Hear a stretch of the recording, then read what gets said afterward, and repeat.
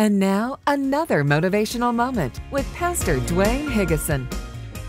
2 Timothy 1 7, Paul writes that God has not given us a spirit of fear, but of love, power, and a sound mind.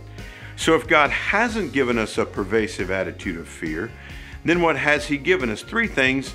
The first, a spirit of love, a pervasive attitude of love. This goes in two directions. I know that I am loved by the Father, and so therefore that eliminates fear. I know that God is protecting me and He's with me, and that even if things go difficult, that He's going to take care of me. Secondly, since I am loved, I am free to love and I am free to share that love with other people. I encourage you today, as you go about your day, reach out to somebody and help them understand that they're loved by God. Start every week motivated with Motivational Moments, a ministry of Grace Temple Church.